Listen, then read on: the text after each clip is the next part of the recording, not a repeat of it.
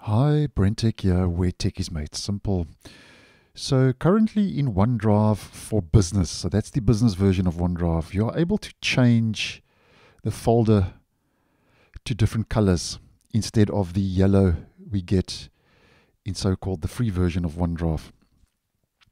Now, it seems that according to a recent Microsoft 365 roadmap uh, update, Microsoft is going to add colored folders to OneDrive in the Windows File Explorer.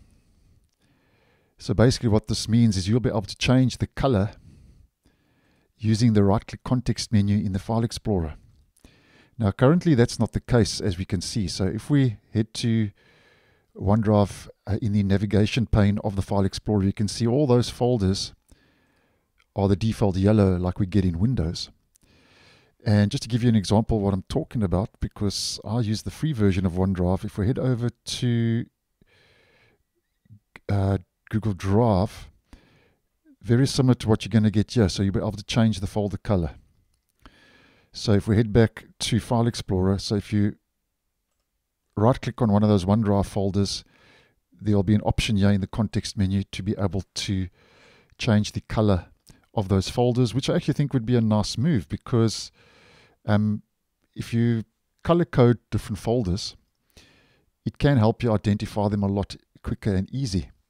So I think this would be a nice move in the right direction.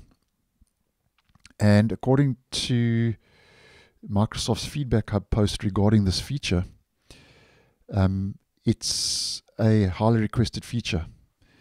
So it's on the roadmap site, and the rollout, according to the 365 roadmap, starts now in September, and we like in the latter half of September. So it's going to be interesting to see when colored folders do make their way into the File Explorer for OneDrive. So if you are using OneDrive like I am, I think that would be a step in the right direction. And when that becomes available, obviously I'll keep you guys posted. So thanks for watching, and I'll see you in the next one.